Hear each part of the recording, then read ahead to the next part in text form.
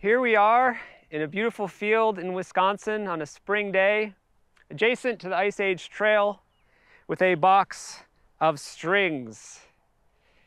These strings are a way of understanding the vast history of our planet, what is known as deep time. So deep time, the Earth is 4.54 billion years old, and trying to understand that depth that expanse of time is challenging. It's challenging to comprehend. But one way of trying to, to understand this is to scale time to space. As an example, my pinky nail is about a centimeter wide.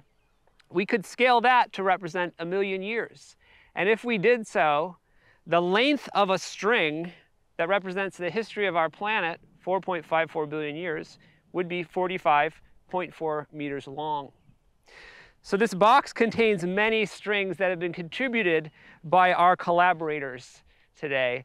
What we've accumulated here are hundreds of strings of time from, from you all dispersed across the planet right now. Let's pull up another one here. This one is from Janesville, Wisconsin. Onalaska, Wisconsin, from Mountain View, California, New York, New York, Pleasant Prairie, Wisconsin, Madison, Wisconsin, and South Range, Wisconsin, Wauwatosa, Wisconsin. So we have a, uh, a string of time, and this one is coming from China. This is coming from um, Shanghai, in fact. So let's open it up and see what we find.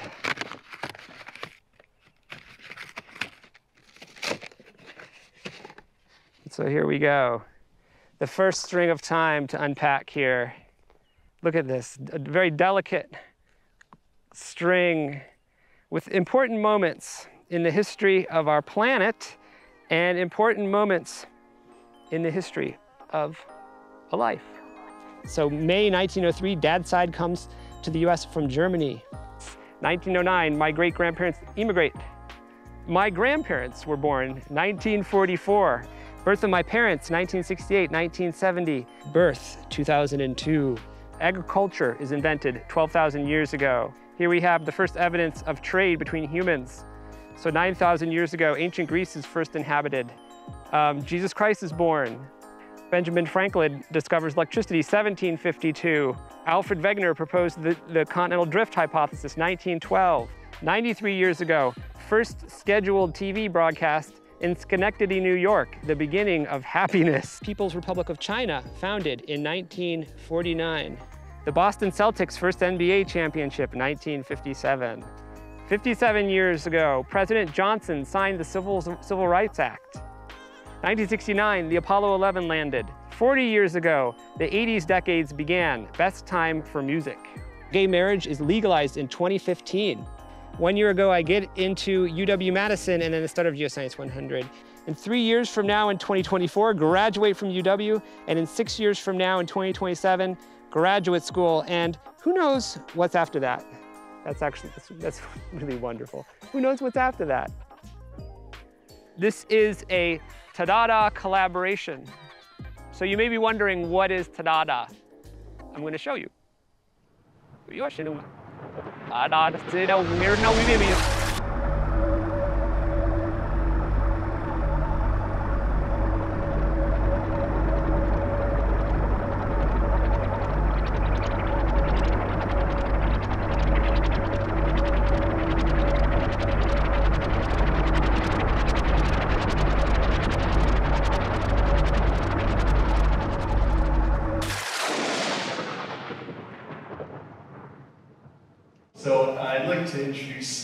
no friend Stephen Meyers.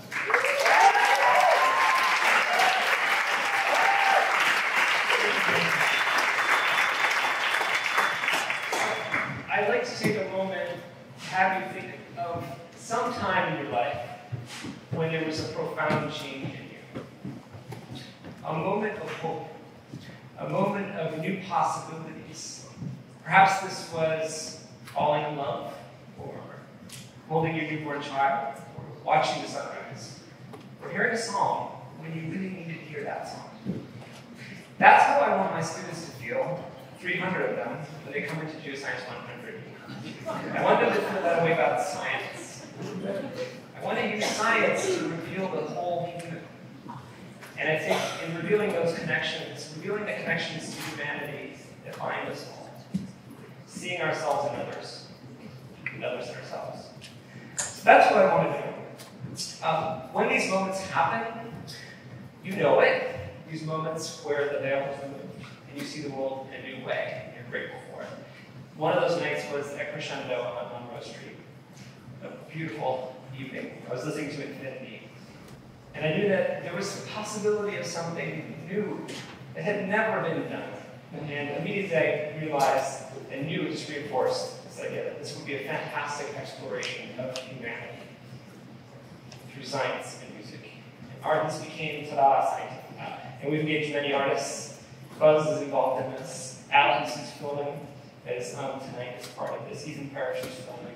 Um, Bruce Crowner from one here, artists. So we're engaging the humanities in science through humans. So I'm going to show you now some video. Some of our filmmakers work on here. So there's some, some video should pop up here. So we commissioned this piece Nebula, but we also, with the videographers, come up with directorial sort of ideas and things. So this is showing the Doppler effect. We put, we put Mark in a uh, speeding car. Um, filled Mark underwater to show the speed of sound in different particles. Mike, artist job, put him on Lake Mendota for hours filming with drones and all. Uh, this was the most comfy situation here. Ben got to and got to study waves here. And of course, this all comes back into the classroom. And the response has been enormous. We've gone from having 42% of the students coming in saying that they identify with science, that they see as a part of themselves, to 94%.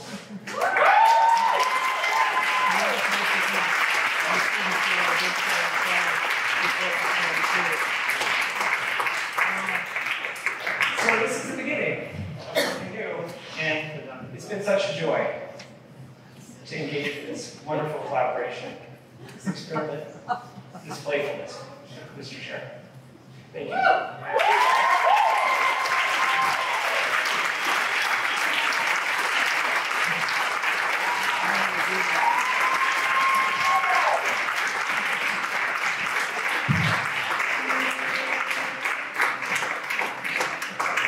Just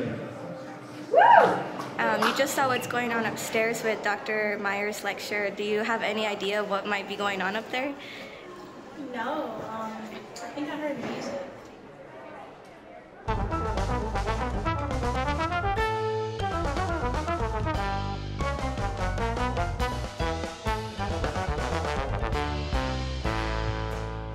Science feels a certain way to me. It is creative, it is emotional. I'm engaged in this because it connects to my humanity, because it's wondrous. So how do you do that? How do you create opportunities for them to experience that wonder? That's what it's all about. It's basically I want to give the students the experience that I get to have. I want them to have that emotional experience. I'm Katie. I'm a freshman. I'm Keisha. I'm a junior here. My name is Ajalin Sarama. I'm a sophomore and I'm a first wave scout. So how do you do that? How do you create uh, opportunities for them to experience that wonder? I like wasn't that excited to be honest, but then I got there and it was so different the way that uh, Professor Meyers taught. One of the highlights of my research career was publishing a paper in a journal called Nature. My work was then used to argue against climate change. And so at that point, I realized that it wasn't enough to be producing the science and pushing the limits in that way, that I also needed to be pushing the limits in how we communicate science and how we create and cultivate engaged public. So we've created this new initiative. Uh, this was my spouse, Gigi Cohen, uh, who is a photojournalist and social documentary photographer, called Tadada Scientific Laboratory. It's an experimental laboratory where we bring in artists of all sorts and we uh, create all sorts of new experiences, I call them connection events, to engage individuals in science, to basically awaken the inner scientist.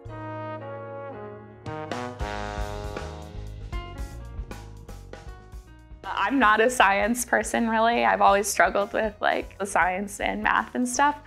Um, but this science course was like totally different. It like brought in things that I was actually interested in. Thank you, Bruce.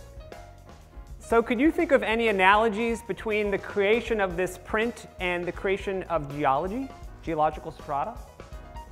But it was super cool. I've never had that before. I really liked the second one with waves uh, because I feel like when you could actually hear the sound waves, it actually made sense to me.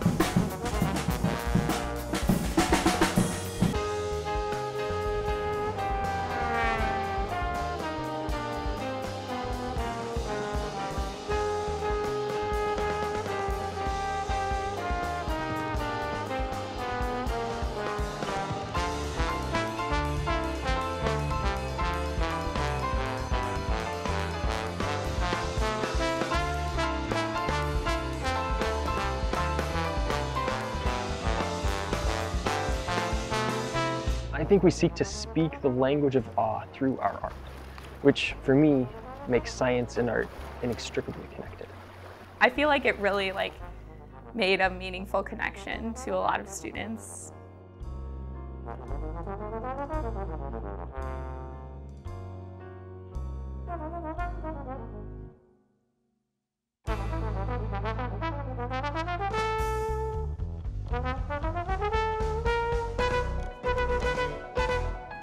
And the idea of this project is to inspire scientific literacy and to cultivate emotional connections to science. And we do this in the science classroom. So we re-envision these classrooms of 300, 400 students that are not science majors, that are taking it as a requirement. We view this as an opportunity to really try to cultivate uh, a populace where sound logic and sound reason and also empathy for each other sort of govern decision making. And the idea is to sort of re-envision these as an opportunity. When I think about the lake here, right, this beautiful place, we love this place. We have such a connection. Look at the ducks there. They're having a fantastic time. We celebrate the warmth that comes with spring. It's great. It feels fantastic. But we can't deny that this particular lake is one that is projected to be very sensitive to warming and climate change that's occurring. And uh, if we keep going as we do, the number of winters without ice on the lake are going to increase. And that changes a lot of things. Wherever you find yourself, I want you to know that we're going to continue this exciting exploration of our past and our future and the geological lens that provides some clarity to our understanding of where we're going.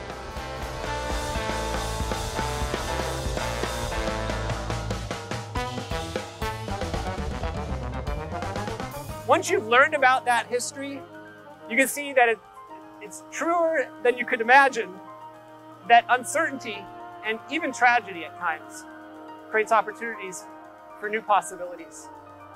But all of that history, all of that, all that science is, is rooted in a deep history that we all share.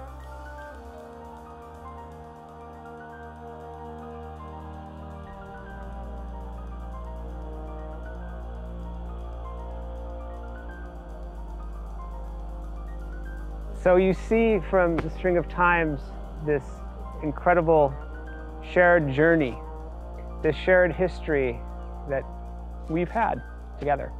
It goes well beyond the three months that we spent in the classroom. And we find ourselves in a present moment, a present moment in a history of 4.54 billion years on this planet, a magical moment that we all get to share. And the future depends upon the decisions that we make. With the knowledge that you take from Geoscience 100 about how the Earth works and about how we have a role and can influence the future, we have an opportunity to walk that future path together, to celebrate each other, and to create the beautiful world that we all need.